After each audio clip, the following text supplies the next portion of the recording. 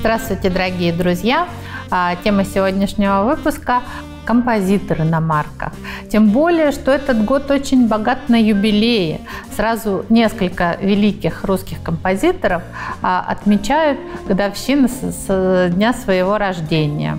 Прежде всего, хочется рассказать о а, великом композиторе Глинке. Это тот человек, который сделал музыку русской. В этом году исполняется 220 лет со дня его рождения, и его современники, а, как правило, русской музыки и не слышали. То есть в России была очень модна музыка зарубежная. И именно этот человек адаптировал а, множество сюжетов а, в музыкальные произведения. Хочется сказать, что он был знаком с Александром Сергеевичем Пушкиным. Пушкин часто бывал в его доме, слушал его музыку.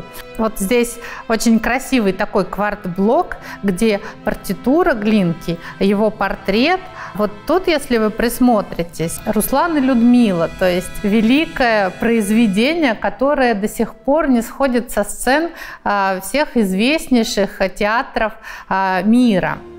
180 лет со дня рождения э, в этом году исполняется и замечательному э, композитору Николаю Римскому-Корсакову. Вот такой очень похожий на квартблок с глинкой, по такому же типу сделан квартблок.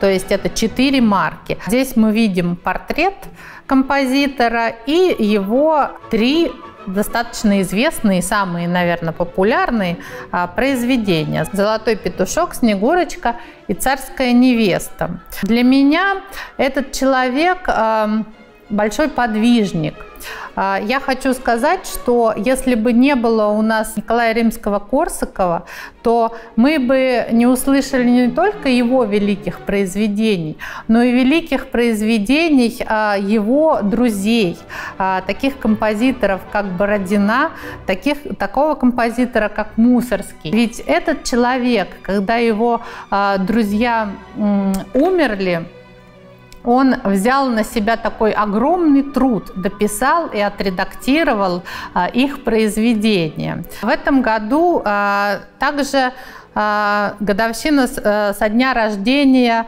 а, Модеста Петровича Мусорского. Это мой любимый композитор, и я всегда с большим удовольствием слушаю его произведения.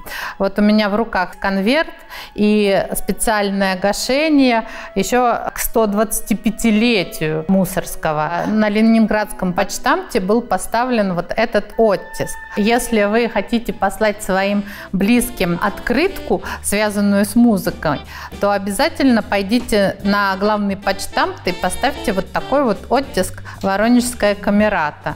Это э, очень редко, и я думаю, что будет интересно и приятно вашим адресатам.